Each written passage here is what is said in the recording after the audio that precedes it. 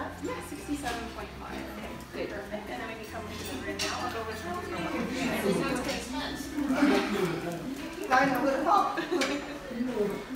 Okay, so this is a general health questionnaire we have prepared for you. You only need to fill out the front side. It's just some general questions about Speckles' health. Um, you don't have to go into into detail or anything like that, Okay. just an overview. And then for here, uh, you don't need to fill any of this out. Just uh, make sure the highlighted areas are correct, and we just need your signature at the bottom. Okay, very good. So first page and then just check Sign the highlighted yeah. highlighted area. That's Okay, all you great. need to do, and the pen's right there. Oh, perfect. I will go ahead and let Dr. Yick know that you guys are here and update Speckles' weight in the system. Great, Yeah. thank you so much. A lot of your concerns are very um, common, um, and I do see a lot of senior pets where we do start seeing things, even if they're totally asymptomatic. That's why getting them in more regularly for exams, Okay. checking baseline labs. And I, um, typically, I would call her a senior. Um, usually, in a dog her breed, I would say about seven is considered senior. Um, so my 13 year old is way beyond senior. Right, right. Um, and typically, what we do is say, yes, even though we say semi annual exams are recommended, it's not required. Legally, we have to see speckles at least once a year just to make sure everything's okay.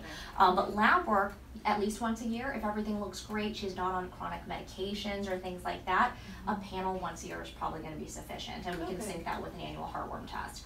Um, that being said, if you find abnormalities or she's symptomatic, like drinking more, peeing more, panting more, decreased appetite, unwanted weight loss, we might pick and choose depending how her labs look. We might do more diagnostics going from there. Um, a lot of times as dogs get older, if they start having changes in breathing, more panting, coughing, if it's not associated with her previous knee surgeries or things like that, sometimes you look, they can have older airways like people, chronic bronchitis, allergies, um, some uh, endocrine diseases, hormone diseases like their adrenal glands sometimes can cause them to pant more, um, breathe different, drink more, pee more. So it really depends as far as labs.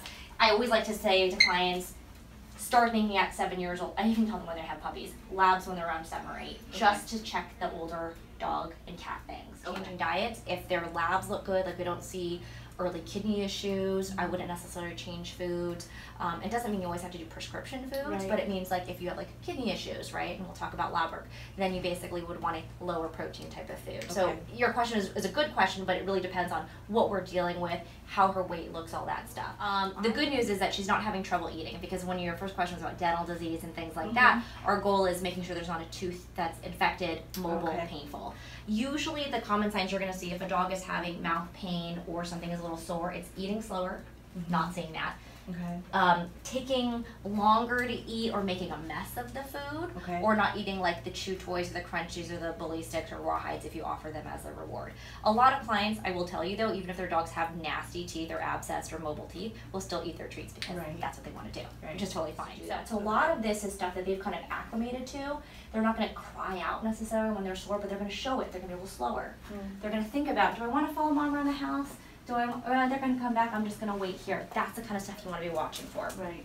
because how I see her here when she's a little bit nervous at the vet is not always going to be very easy for me to tell that she's store stiff. You're going to have to tell me from at home. Okay, Right? okay. Okay? All right, Speckles. Hi. Hey, baby. Hey, do mama. So what I'm going to do is I'm going to start from here, go all the way to the back. I'll probably find the lumps as we go along. Um, pretty friendly. Yeah. Hi, Speck. Hi, Speckles. She's just usually I much know. You're good. I know, Stay. honey. Stay home. Um, and then overall, besides the surgery, is pretty healthy girl. okay. Yeah. Right.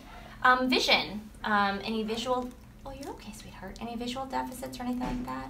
Um, and then in the back, I know, sweetheart, you're fine. In the back, she's got pretty heavy buildup on these back teeth here. Okay. But I wouldn't say that she's overtly painful.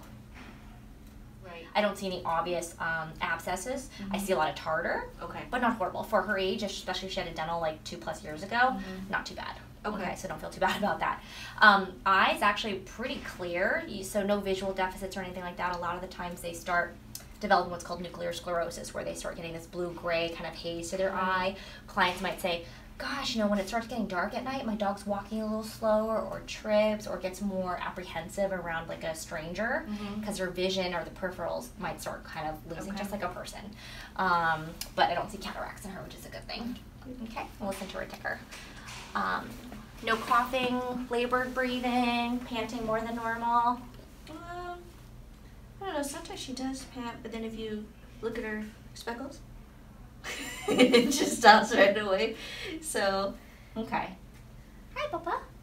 Hi, honey. All right, let's take a listen. You're okay, sweetness.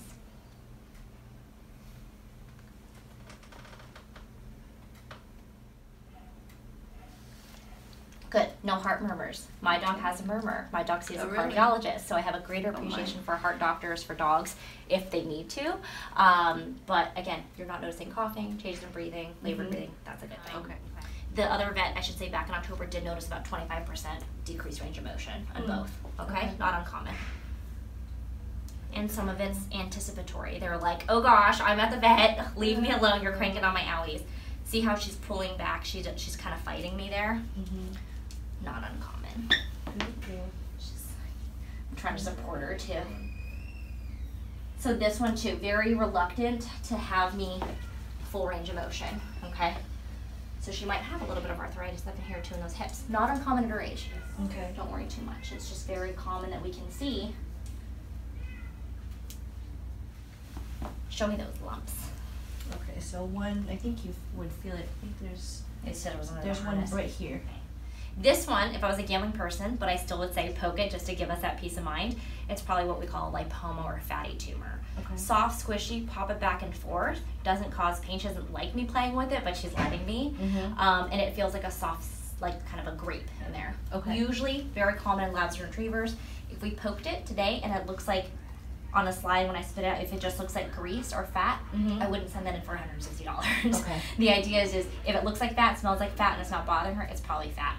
They're very slow growing, very common in older seven plus year old dogs. I've even seen it in younger dogs. Doesn't mean that we have to make her a pin cushion and take them all off because Okay. guess what? She might develop five more in the next year. All A lot of dogs. So lumps are very common as they get older. Lumps are, co- I, I would say, depending on the breed, can be common.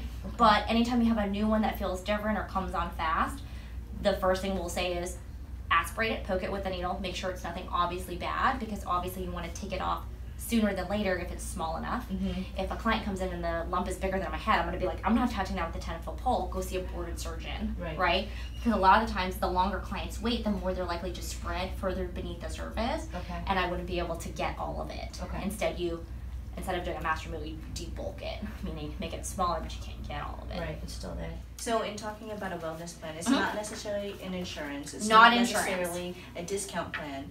It's almost like you're taking care of the basics for your dog. Yes. And in monthly increments versus uh, Paying one in a couple large credit card installments.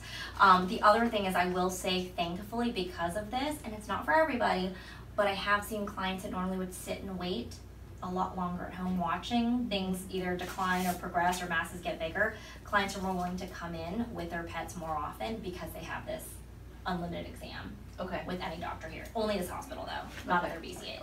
Or some people say, give me an estimate, but I want to pay out of pocket as I go. I don't care. I just want to do what is right for her and what makes sense for your budget.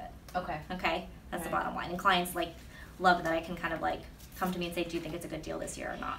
Right. You know, if you need all the vaccines, Because she doesn't need to get her teeth cleaned every year. Exactly, and I don't want to do that as she gets older. I don't want to do it every year because there is that less than one percent anesthetic complication rate, but that's one percent too much, you know. So it's not worth it.